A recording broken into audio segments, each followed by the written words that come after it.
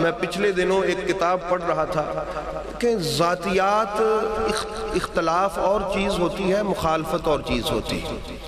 इख्तलाफ हो सकता है, किसी से भी आपस में उलमा का, पीरों का, लेकिन उसको जो है ना, वो लड़ाई या वो बना लेना, बात सुन लेना चाहिए किसी की।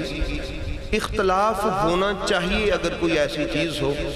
अब सब जानते हैं कि यजीद की माँ एक ईसाई औरत थी, मैसून बिनते बहदल क्या कौन से मज़हब से तलक रखती थी, आप भी बता दें? ईसाई औरत थी। वो कुछ अरसा यजीद के वाल साहब के नकाह में रही और फिर तलाक लेके चली गई। यजीद पैदा ही अपने ननहाल में हुआ जाके। परवरिश भी उसकी ईसाइयों ने की, उसको पाला भी ईसाइयों ने। उसने कुरान नहीं सीखा था, उसने कुछ और सीखा था। उसने हो सकता है बाइबल सीखी हो, क्योंकि वो पैदा ही अपने ननहाल में हुआ था जाके। परवरिश ही उसकी ईसाइयों में हुई थी। उसकी माँ एक ईसाई औरत थी मैं पिछले दिनों पढ़ रहा था और मैं अजीब गरीब कैफियत थी मेरी। यजीद की वालदा मैसून बड़ी नेक और पाकबाज खातून थी। शरीयत मुतहरा में बड़ी मोहतात थी दीन के मामले में। रहमत ताला अब आने वाले पचास साल के बाद जब लोग उस किताब को पढ़ेंगे तो यकीनन वो कहेंगे कि यार 2021 में ये किताब लिखी गई थी, तब तक तो यजीद की वालदा बड़ी नेक थी। अब अगर कोई इसके खिलाफ बात करता है तो ये कोई गलत बात है। यूँ तारीखें चेंज होती हैं। यूँ मुन मुँह अकायद के मुँह मोड़े जाते हैं। यूँ हकीकतों को तब्दील किया जाता है। इस तरह हकीकतों पर पर्दे डाले जाते हैं और दिन को रात और रात को झूठ बना के दिन बनाया जाता है। अहबाब गिरामी रब्बुल आलमीन हमें अहले बैत तहार की ये वो साजिशें हैं, आम आदमी इसको समझ नहीं सकता। वो समझने शायद लिखा गया है। ये लिखा नहीं जाता। ये लिखवाया जाता है। कौन नहीं जानता कि यजीद की माँ ईसाई थी? मैसून बिनते बहदल कबीला बनु कल्ब से उसका ताल्लुक था। उसका नाना ईसाई था। कहाँ वो यजीद? यजीद का नाना ईसाई हुसैन का नाना सैयदुल अंबिया।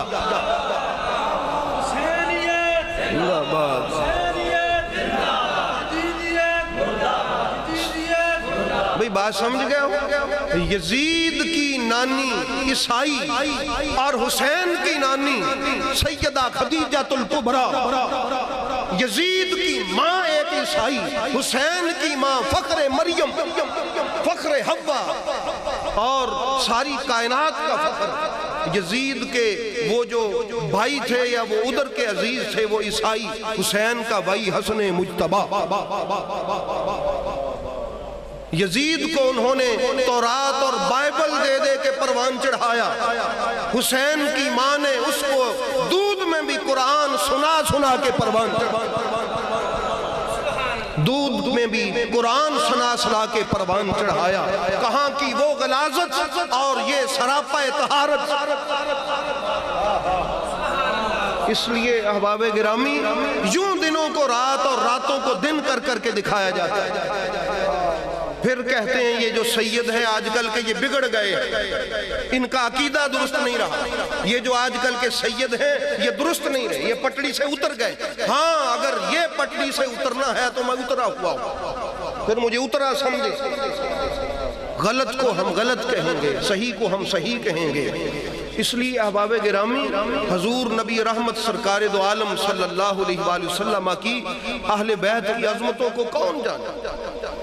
हुसैन पाक के आप रिश्तों को देखें, कितने मुकदस रिश्ते और यजीद के रिश्तों को देखें, कितने नापाक रिश्ते तो इसलिए अहबाब गिरामी, रब्बुल आलमीन हमें अहले बैत की अजमत को अजबर कर लेने की तोफ़ी अता फरमाए। लेकिन याद रखें, ये न दलीलों से दिलों में बिठाई जा सकती है, न मिसालों से दिलों में बिठाई जा सकती है, न ये तकरीरों से, न खुतबों से, न वाल से बिठाई जा सकती है। ये रब्बुल आलमीन जिसको पाकिजा फितरत अता फरमाए, हुसैन उसके दिल में उतर सकता। है